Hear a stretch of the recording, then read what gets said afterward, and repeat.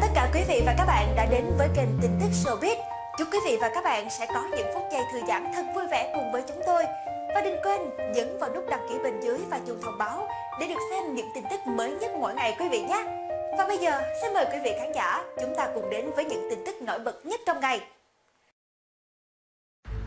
Vì sao Hoài Linh, Trấn Thành và các danh hài nổi tiếng phía Nam không tham gia táo quân?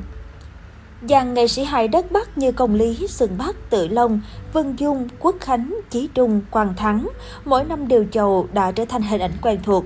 Tới quần năm này có sự đổi mới về format, nhưng tình cũng soi ra được Lâm Vĩ Dạ, diễn viên hài của sân khấu phía Nam tham gia ghi hình. Điều này khiến không ít người thắc mắc những danh hài nổi tiếng miền Nam như Hoài Linh, Trường Giang tại sao lại chưa từng xuất hiện trên sân khấu gặp nhau cuối năm.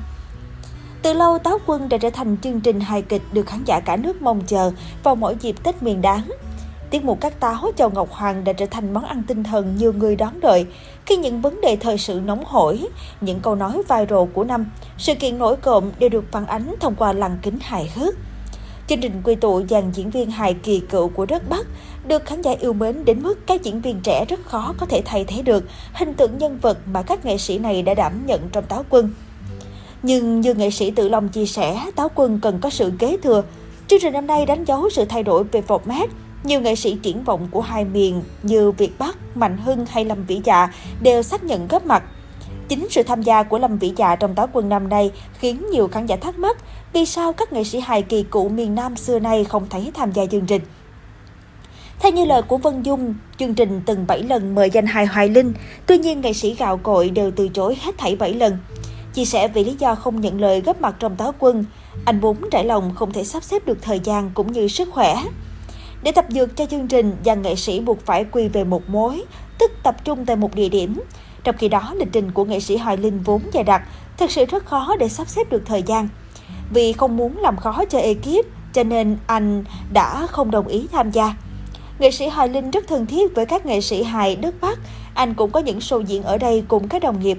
Tuy nhiên với Táo Quân, chương trình đòi hỏi nghệ sĩ phải dành nhiều thời gian tập dượt cùng nhau, đảm bảo tiến độ ghi hình, thì Hoài Linh lại không thể tham gia. Tương tự là Trấn Thành Trường Giang, hai nghệ sĩ hài nổi tiếng của sân khấu kịch phía Nam cũng không thể góp mặt vì lịch trình bận rộn. Tổng đạo diễn Táo Quân từng chia sẻ với nghệ sĩ có độ phủ sóng cao như Trấn Thành Trường Giang, thời điểm Tết là lúc họ phải chạy show dày đặc, nên rất khó để sắp xếp được thời gian trống tham gia chương trình. Giữa các nghệ sĩ hài hai miền Nam Bắc đều rất tình thương mến thương, chỉ vì lịch trình dày đặc, nhất là chạy show dịp Tết, nên nhiều danh hài phía Nam không thể sắp xếp được. Dù không thể tham gia, Hoài Linh, Trấn Thành hay Trường Giang đều dành sự ủng hộ cho chương trình. Xin chân thành cảm ơn quý vị và các bạn đã quan tâm và theo dõi video. Hãy nhấn vào nút đăng ký bên dưới để theo dõi những video mới nhất được cập nhật mỗi ngày quý vị nhé.